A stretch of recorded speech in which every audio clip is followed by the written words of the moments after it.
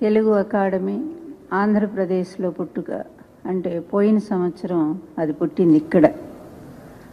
అది తిరుపతిలో రిజిస్ట్రేషన్ చేయటం జరిగింది. రిజిస్ట్రేషన్ తెలుగు అకాడమీ పేరుతోనే రిజిస్ట్రేషన్ చేయటం జరిగింది.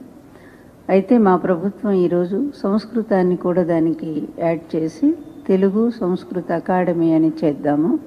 ఎందుకంటే భాషాభివృద్ధి జరగాలి అంటే ఎప్పుడూ కూడా ఉన్న చోట ఆగిపోదు ఏ భాష అయినా సరే.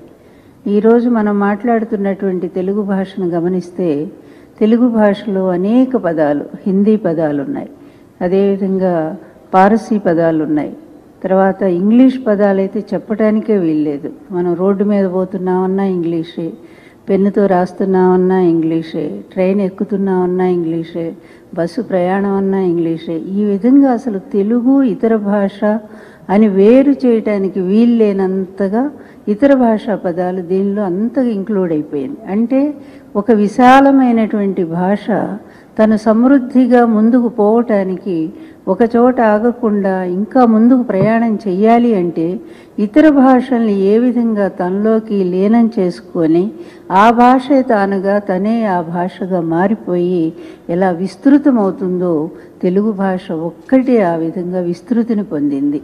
దీని పుట్టుకలోకి వెళితే అసలు ప్రాకృత భాష నుంచి పుట్టింది. దీని తద్భవ భాష అని పేరు. అలాగే పాళీ భాషతో కలిసింది. తర్వాత రెండో శతాబ్దంలో శాతవాహనులు పరిపాలించేటప్పుడు శాలివాహన సప్తశతిలో రెండు మూడు పదాలు తప్ప ఆయన రాసిన శాలివాహన సప్తశతిలో తెలుగు భాష అంత లేదు. అప్పుడు కూడా గ్రామీణులు మాట్లాడేటువంటి వాటిలో అక్కడక్కడ కొన్ని పదాలు ఉన్నాయి. మనం ఇప్పటికి కూడా మనము శాసనాలు పరిశీలించి చూస్తే ఎప్పుడు ఫస్ట్ బె- బెజవాడ ఇక్కడ యుద్ధమల్లు శాసనం దానికంటే ముందు చేపురోలు శాసనం ఒకటి ఉంది. అప్పుడు చూస్తే తెలుగు భాష ఎలా ఉందంటే అసలు ఒక్క వాక్యం కూడా మనకు అర్థం కానటువంటి పరిస్ పరిస్థితి కనిపిస్తూ ఉంది.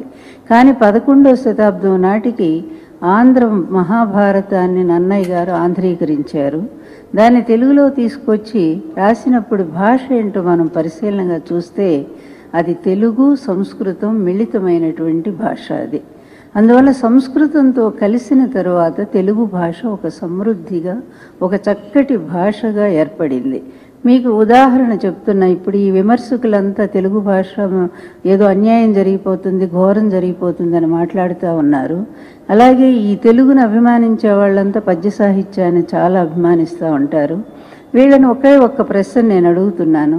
మీరు అభిమానించేటువంటి ఒక కావ్యంలో మనుచరిత్ర అనే ఒక కావ్యం ఉంది.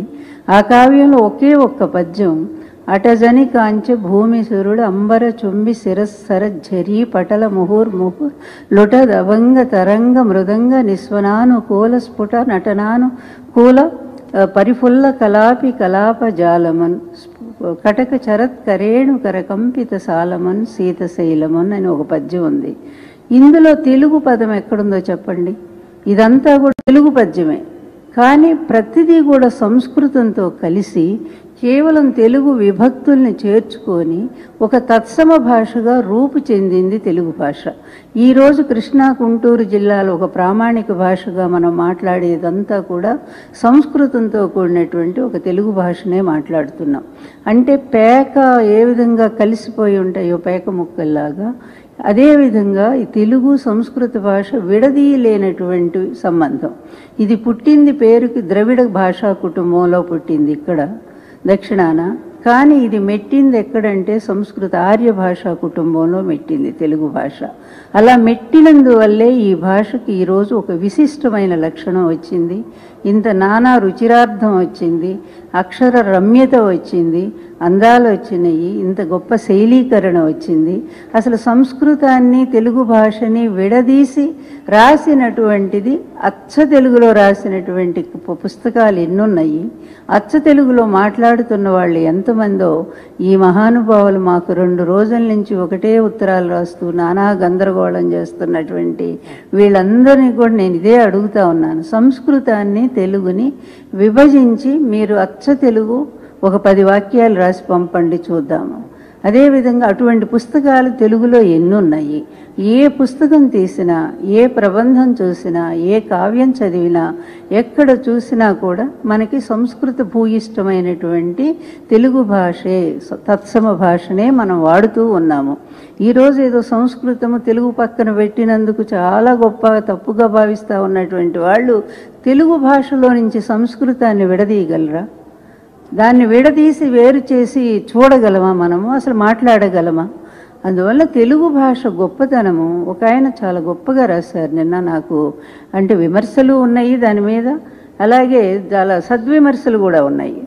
వారు ఏం రాస్తారంటే మలయాళ భాషలో సంస్కృత పదాలు ఎక్కువగా ఉన్నాయని అంటారు. అలాగే శతాబ్దాలుగా తెలుగు భాషలో కూడా సంస్కృత భాష విభక్తులతో కలిసి విరివిగా వాడుతూ ఉన్నాం మనము. సంస్కృత పదాలు లేనటువంటి వాడుక భాష అసలు మనకు లేనే లేదు తెలుగు భాష. అందువల్ల పడుగు పేకల్లా కలిసిపోయిన రెండు భాషలు కలిసి ఒక అకాడమీ పెడితే తప్పేంటి? ఎంత మంచి విమర్శ అండి. ఇలా ఆలోచించాలా? ఎంతసేపు కూడా ప్రతిదీ రాజకీయమేనా?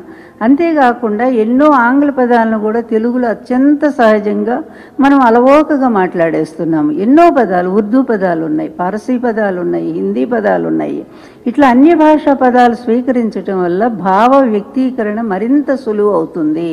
అదే భాష ఎప్పటికప్పుడు మార్చుకుంటూ పోతా ఉంటేనే చాలా సులువుగా వ్యవహారానికి కూడా అందుబాటులో ఉండటానికి వీలుగా అవుతుంది. అప్పట్లాగానే గ్రాంధికం మాట్లాడుతా అంటే కుదురుతుందా? గ్రాంధికం పోయింది. ఈరోజు వ్యవహార తెలుగు వచ్చింది. అలాగే ఇప్పుడున్నటువంటి పరిస్థితులను బట్టి ఇంగ్లీష్ పదాలను యాడ్ చేసుకుంది. మరికొన్ని భాషలను కలుపుకుంది. ఈ దేశాన్ని ఎంతోమంది పరిపాలించారు. వాళ్ళు ఉన్నప్పుడల్లా వాళ్ళ భాషా పదాలు చేరుతూ వచ్చాయి.